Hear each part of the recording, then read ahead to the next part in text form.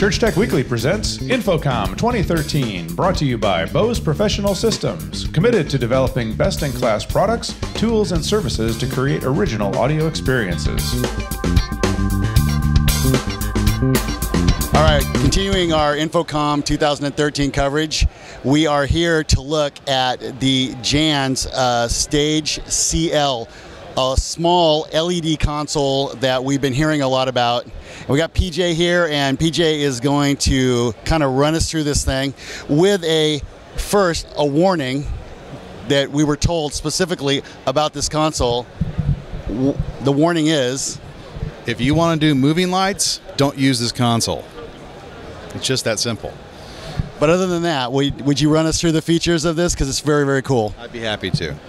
Uh, the Jands Stage CL was designed as a stripped down console that is for LED fixtures and dimmers only.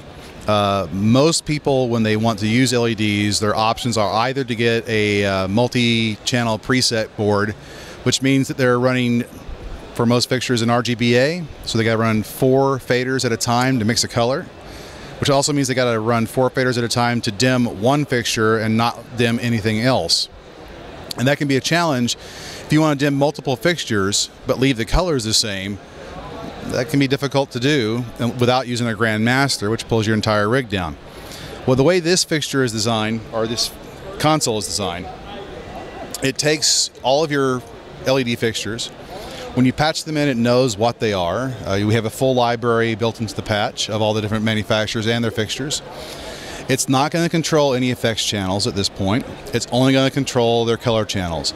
So if it's an RGBA fixture, it's going to know that it's an RGBA fixture, and it's going to do the work for you to make this into an HSA console. So you're going to have intensity, color, and saturation.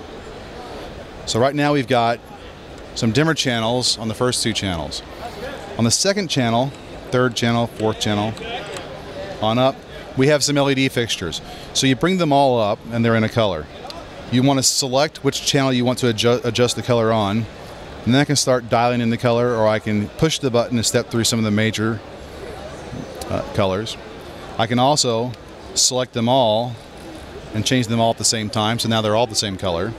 Or I can select individual ones, and in these three of the six, I can only change their colors. I've changed the color.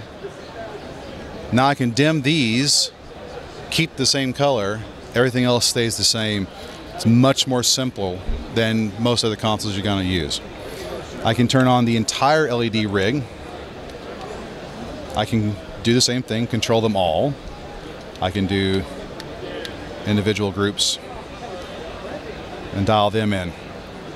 Now I can also come over if I am more comfortable using, say, a color picker. Wrong button. There are built-in pre-colors here.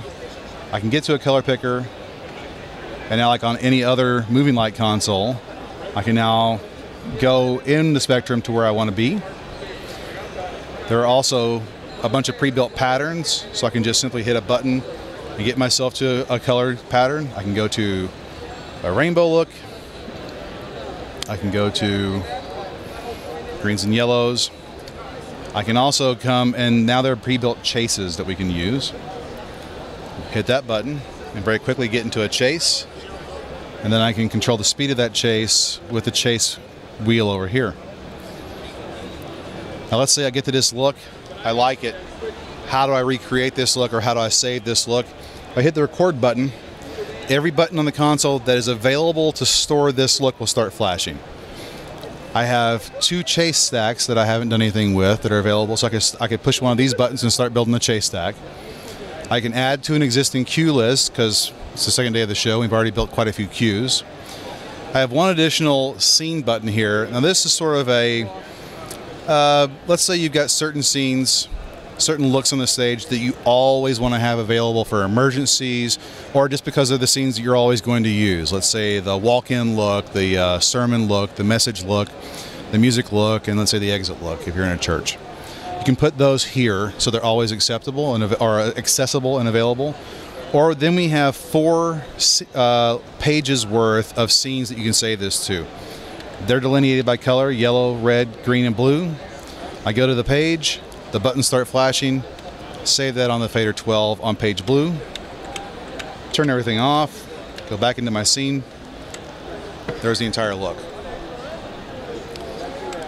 I can then take all those scenes, if I want to build a bunch of them, and now just start stepping through scenes and build a cue list or build a cue stack. The scenes can include a chase, and I can still adjust the speed of the chase within the scene. All right, so the scene is a chase. I can add that to a chase stack if I wanted to, or make this now part of a cue. Or I can just make it, hey, I want to go to this look. I know where it's at. I bring it up. what I didn't start off with was there are 12 control channels. So no matter how many fixtures you have, you need to patch the entire thing down to within 12 groups. That's how the fixture works. Uh, if you want to add multiple dimmers to one control channel, you can.